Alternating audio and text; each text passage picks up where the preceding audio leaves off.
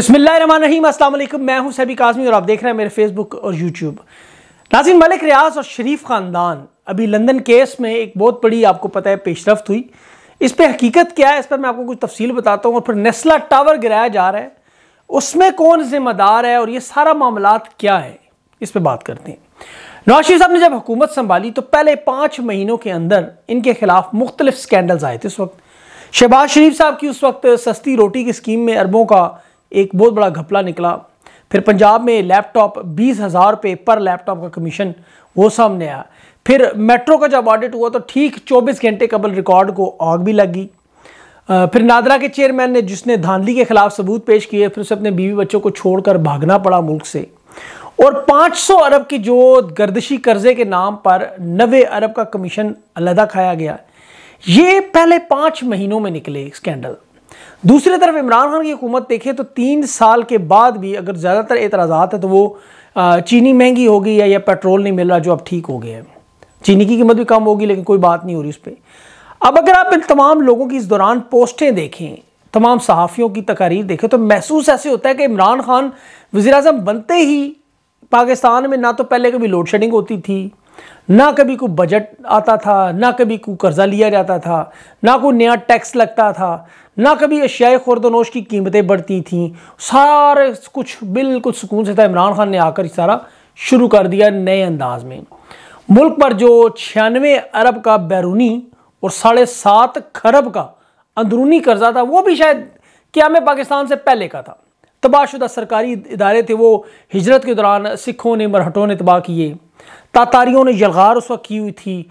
चंगेज़ खान आकर steel mill पर चढ़ गया था। पीआईए को मुगल बादशाहों ने तबाह बर्बाद कर दिया। एयरपोर्ट, मोटरवे समेत हर इदारा ईस्ट इंडिया कंपनी ने तबाह किया, और तो किसी ने कुछ किया ही नहीं। मियाँ साहब और जरदारी साहब सारी ज़िंदगी एक दिन भी फैक्ट्री या कारोबार को नहीं गए। एक दिन भी दफ्तर या कारोबार को नहीं गए। लेकिन अरबों डॉलर्स के मालिक बन गए।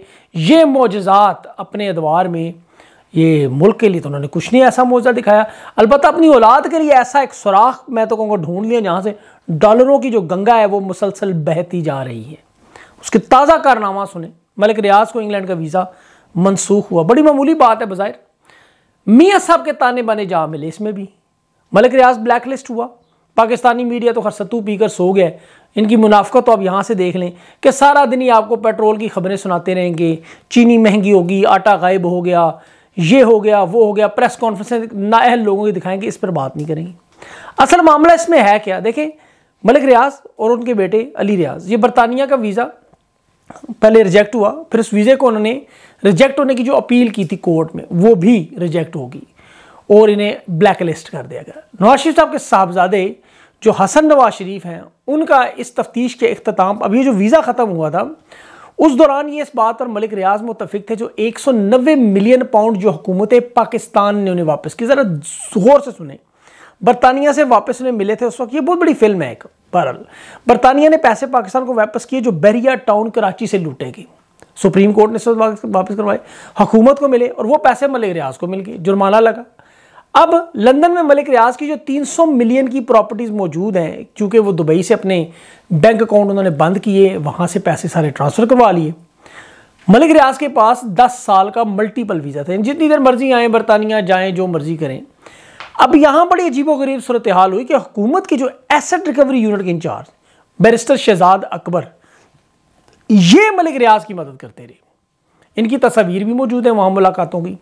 बरतानवी मीडिया में भी आती नहीं असल कहानी इस प्रॉपर्टी की है वन हाइड पार्क जो प्लेस मेंशन है, उसकी है। और इसके बावजूद कि मलिक साहब आप बरतानिया में मलिक रियाज पैर नहीं रख सकते, पैसा उनका बारल मौजूद है। कहानी 2014 में जब मलिक रियाज की हसन नवाज़ शरीफ की जो प्रॉपर्टी खरीदने की बातचीत पे जो मार्केट में हसन नवाज़ ने लगाई पैंतालीस लाख पाउंड की। ये बेचने के लिए हसन नवाज़ ने कहा, जी मैं बेचूँगा और पैसा कमाऊँगा उसमें। मलिक रियाज ने यह प्रॉपर्टी बयालीस इशारिया पाँच मिलियन डॉलर के बदले खरीदी। अब ये मलिक साहब की और हसन नवाज़ साहब की एक शराकत नहीं, इसमें और भी बड़ी बड़ी पेमेंट्स आती रही जो उनके लंदन के अकाउंट्स में लाखों पाउंड महीनों में आते थे, जाते थे। तो अब बरतानवी जो एन है, उसने हसन नवाज़ का अकाउंट भी चेक करना शुरू कर दिया, लेकिन वो बड़े तरीके से गेम करते हैं। जो पकड़ा जाए वो चोर, जो निकल गया वो आपको पता है, ठीक। अब बैंक को देखें, उन्होंने जो घर पे कर्जा लिया था, वो पहले अदा किया और जो पैसे वो मंगवाते थे, वो वकील के ज़रिए।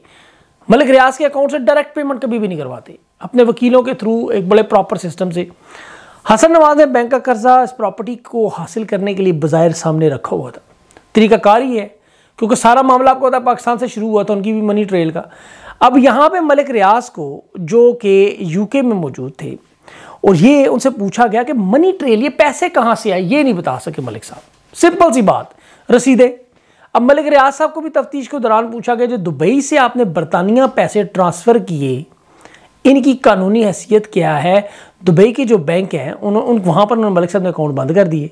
सारा पैसा बरतानिया ने। उनका ये कैसे पैसे ट्रांसफ़र कानूनी हैसियत हमें बताएँ आप? लेकिन देखें ये इतना ज़्यादा माल है और अफसोस का मकाम ये है कि हुकूमती एसेट रिकवरी के इंचार्ज हैं शहजाद अकबर साहब। वो मदद कर रहे थे मतलब मुलाकातें कर रहे थे। काबीना में इनके ऊपर बात नहीं की जा सकती, पिन ड्रॉप साइलेंस करवा देगी मीडिया खामोश, अदालतें साथ, ये होती है ताकत। एक सौ नब्बे मिलियन जो पाकिस्तान ने वापस किया था इनका बरतानिया से, वहाँ बरतानी मीडिया ने बरतानवी हुकूमत को रगड़ा देना शुरू कर दिया कि आपकी शर्मिंदा हो, आपने पैसे वापस किए हैं, आपको शर्म आनी चाहिए। मलिक रियाज का जो बर रास्त नाम अच्छा करप्शन में नहीं है। ये याद रखिए। बर रास्त नाम करप्शन में नहीं है, लेकिन बरतानिया में घुसने नहीं दे रहे। वो सवाल सिर्फ़ एक प्रॉपर्टी की वजह से बरतानिया इतना बड़ा काम कर रहा है। मलिक रियाज साहब की साहबजादी थी, उन्हें ये वन हाइट पार्क पसंद आ गई प्रॉपर्टी। हसन नवाज़ की प्रॉपर्टी, दस कमरे, Shahana, swimming pool, gym, sauna, spa मतलब लग्जरी स्टाइल उन्होंने बनाया फुल फ्लैज ये प्रॉपर्टी है। अब नवाज़ शरीफ खानदान की करप्शन देखे, माजी में देखे, सरे महल देखे, ये बरतानवी हुकूमत को नज़र नहीं आई, लेकिन एक प्रॉपर्टी से मलिक रियाज को पकड़ लिया, दस साल के लिए। हालाँकि करप्शन में डायरेक्ट नाम बरतानिया में नहीं आया। माजी में हर करप्ट हुक्मरान को बरतानिया ने परा दी। मलिक रियाज को सामने रखकर अब ये इंसाफ का ड्रामा कुछ चाहिए मैं मलिक साहब की बिल्कुल फेवर नहीं करता। रगड़ा लगना चाहिए ठीक ठाक लेकिन ये तरीका ज़रा चेक करें। अच्छा नस, नेस्ला टावर में भी यही हुआ। नेस्ला टावर में कि देखें क्या हुआ। कराची में शाराय फैसल, शाराय कायदीन के संगम पर ये पंद्रह मंजिला नेस्ला टावर है। इसके मुकीन इस वक्त एक अजाब भुगत रहे हैं। यकीन करें तिंका तिंका जोड़ कर ज़िंदगी भर की जमा पूंजी इन्होंने घरों पर लगाने वाले बेचारे सड़कों पर आ गए। ये नेस्ला नेस्ला टावर एक रेजिडेंशियल एरिया है, जिसको जमात इस्लामी के कराची के मेयर थे सुखनेमतुल्ला साहब। उन्होंने रेजिडेंशियल कमर्शियल में तब्दील किया था गैर कानूनी तरीके। फिर जब एम के एम की हुकूमत आई तो फिर जमात इस्लामी इस रेजिडेंशियल से कमर्शल में मुंतकली की, खुद पटिशन लेकर सुप्रीम कोर्ट चली कि ये गैर कानूनी है। और जब सुप्रीम कोर्ट ने इसको गैर कानूनी देकर गिराने का हुक्म दिया तो मैं अभी सुन रहा था, उनके हाफिज़ नईम साहब हैं, उनके खिलाफ एहतजाज करने वो सुप्रीम कोर्ट भी पहुँच गए। मतलब मैं ये समझ मुझे नहीं आई। मैं जब सारा केस स्टडी कर रहा था कि खुद ही उन्होंने काम किया, खुद ही पटिशन लेके गए, खुद ही अब हवाम की हमदर्दी भी तो मतलब ये सारी चीज़ें कुछ किसी रुख जाती नहीं है कि मामला करना क्या चाहते हैं।